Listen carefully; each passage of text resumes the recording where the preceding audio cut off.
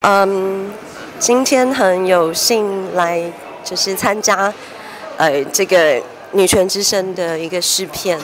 那在观观看的过程中，我一度就是落泪了非常非常非常多次。呃，很沉重的一个议题，因为如果没有投票权的话，就没有女人的声音。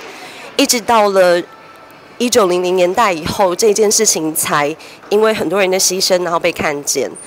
其实过程当中，我不断的在思考，一百年前的英国或是世界各地。跟现在的台湾，跟现在的女权有多少的差异？就是身为女生，我们要呃知道自己在干嘛，然后知道自己可以对这个社会有很多的贡献。